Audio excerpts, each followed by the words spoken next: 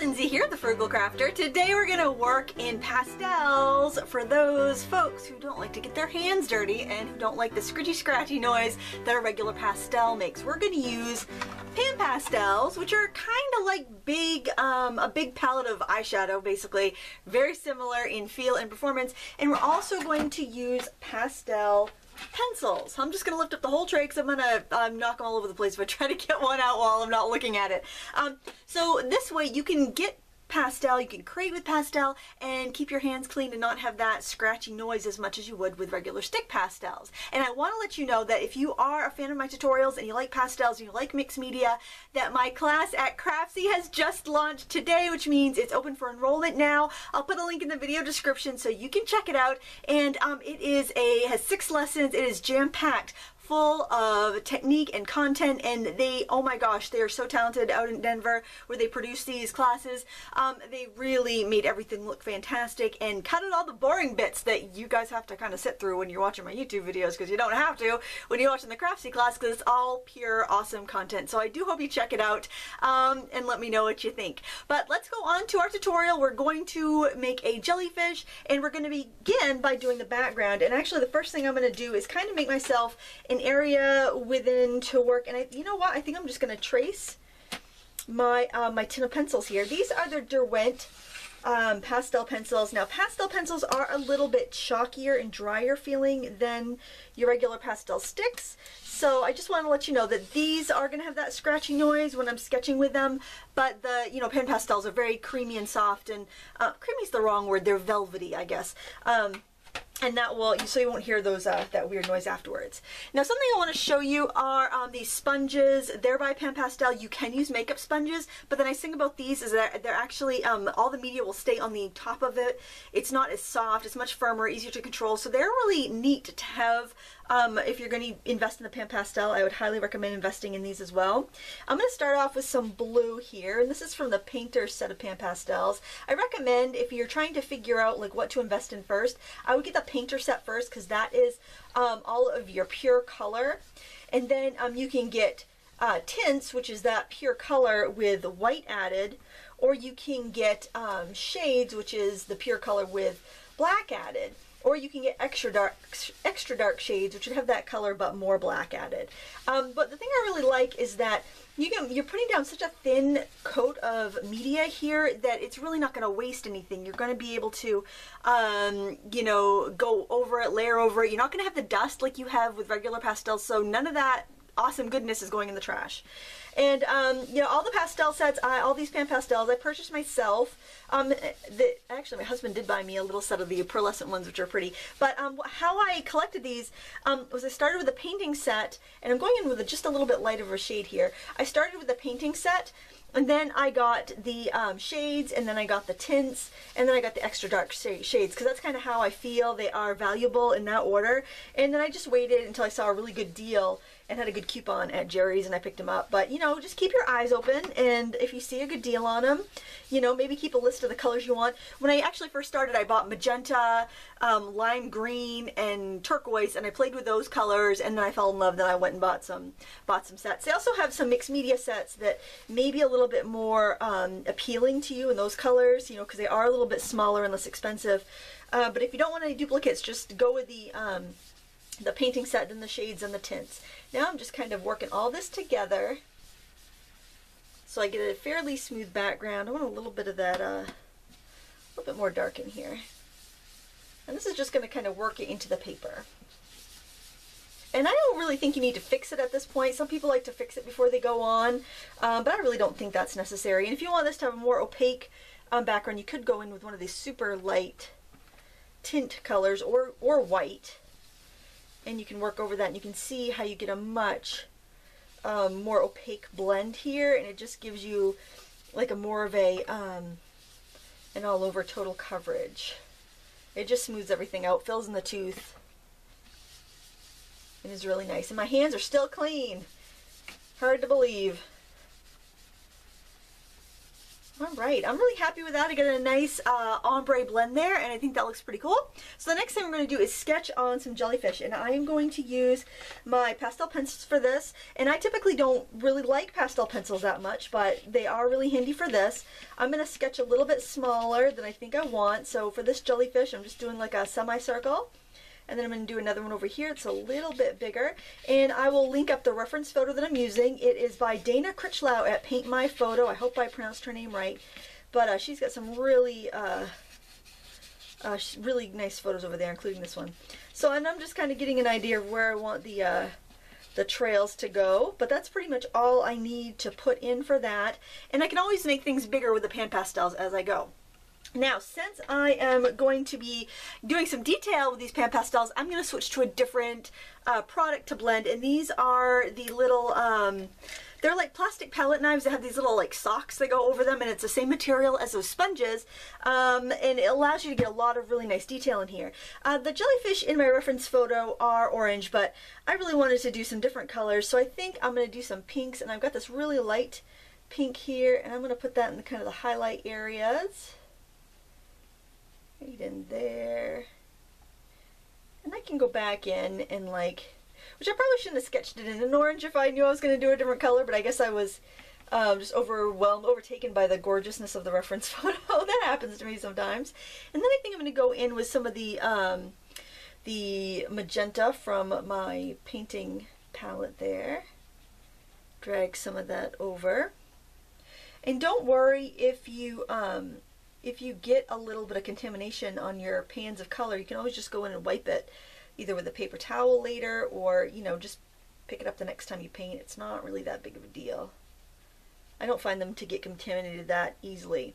The thing I just would warn is just don't buy them to hoard them. If you're going to get these, they are an investment. They're not cheap. I, I know because I hemmed and hawed a long time before buying these. Um, use them. You know, don't be afraid to, to break break them in and, and use them. You're not going to use them up. One thing I did before I invested in the Pan Pastels was I actually bought a really um, big kit of eyeshadow. It was like the ELF brand um, at, I think I picked it up at Target for like 14 bucks and it had like a ton of colors. And I got that because I knew it would probably act a very similar way so I could try it out before investing. It actually is more expensive per ounce than the Pan Pastels, but at least I got to try it, spending 15 bucks to make sure I was really going to like that effect. Um, and you can do that too. You can buy some eye, a palette of eyeshadow and play with it and see if you even like this technique before, you know, dropping some change on the Pan Pastels. It's a great way to kind of try before you buy, and then you'll know if you love it or not, you know. The colors will be a little bit nicer in Pan Pastel, a little more opaque, but, you know, it'll give you the idea. So I'm just dipping into some purple here and giving that some shadow on the bottom. Try not to overblend. It, blending is so fun with these, but just try to keep some of your... Um, of your color pure.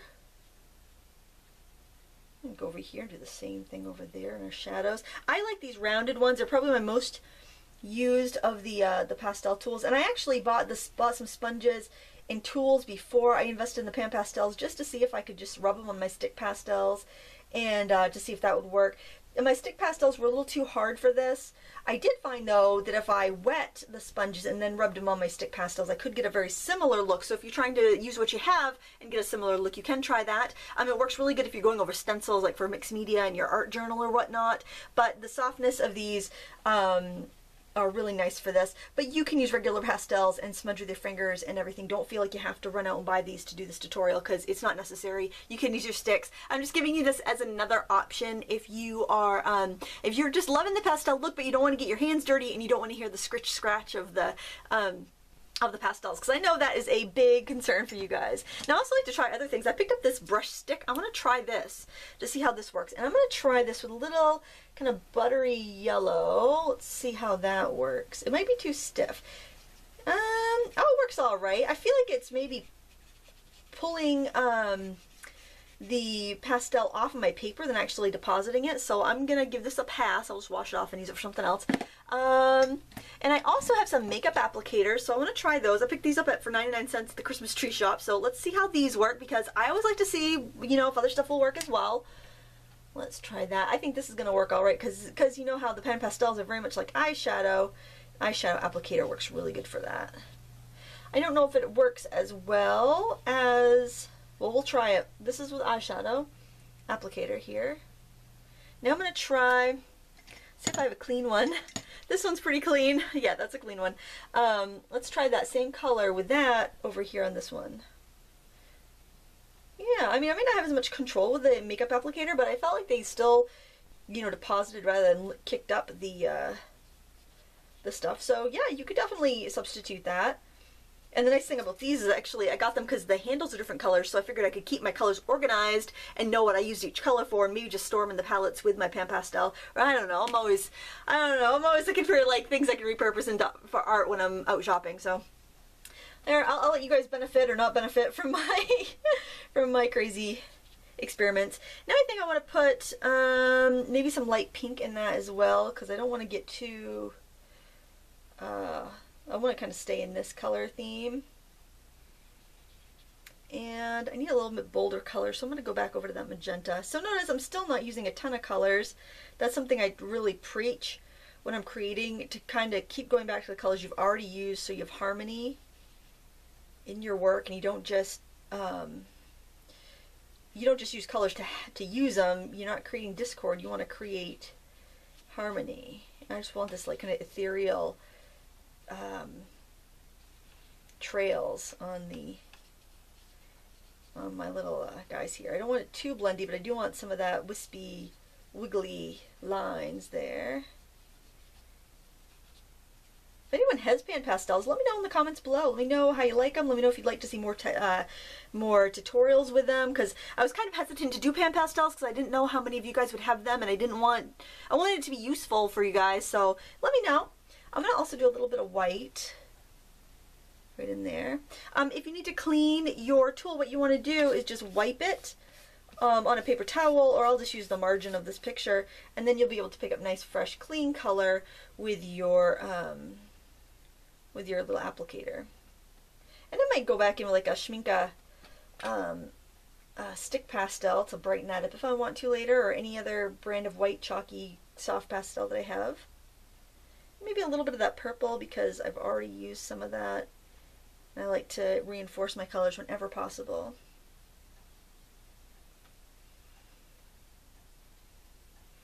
Okay, so I'll wipe off the extra there. And I think I want to put a little bit of a highlight with the white on the top of my jellyfish here think I'll probably need to invest in more white pan pastel before anything else. It's, it seems like with any type of pastel media or crayon media, I'm using up the white way before everything else. Alright, and now I am going to redefine my shadows, just wiping off the extra there. It's going to have a pretty frame around it when I'm all done from cleaning up all my, all my, uh, cleaning up all my waste pastel. It's going to be pretty.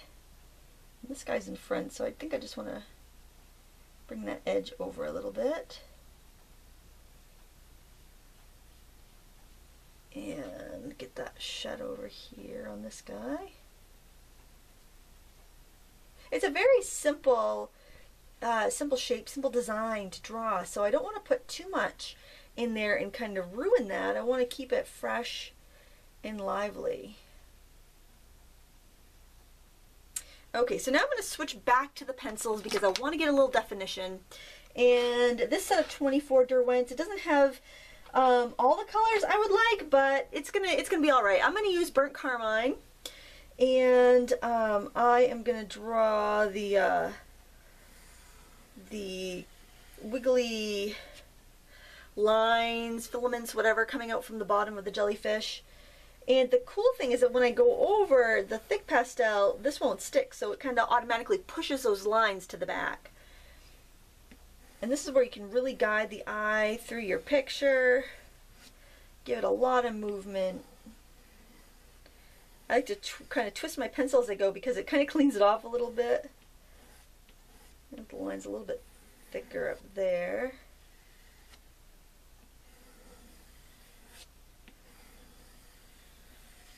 And bring it right um, beyond your boundaries. Take it right off the edge of the table. You can wipe it up with a white wet rag when you're done. Just pull that line right off so you have the nice fluid stroke, kind of like you're dancing.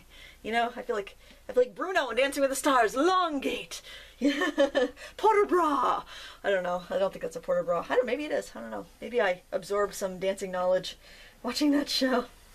Okay, and we're gonna do some on the other the other um, jellyfish wishes, and those are going up higher more. I think because maybe that one just zipped down to say howdy to its friend. Oh hi! I didn't see you down there. Just zooming on down through the ocean.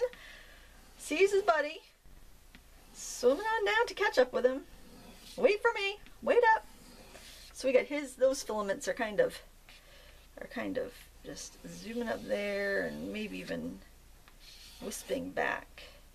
Get that movement in there. You can even put some like lines over there. So maybe we have a, we have a jellyfish friend that's that's uh, already ahead of them. They're they're catching up with that jellyfish friend maybe a few over there. So think about design, not just what you see in the picture. Think about how you can improve the design as you go through and you create and paint. Okay, now I feel like I would like a little bit of the lines in front. So what I'm going to try doing is taking one of these other tools and I'm going to, I think I'll choose one that's got a finer tip. Like this one right here has got a finer tip on it. And I think I'll maybe just grab I'll grab this dark purple. This is one of the tints to the, to the colors I've already used.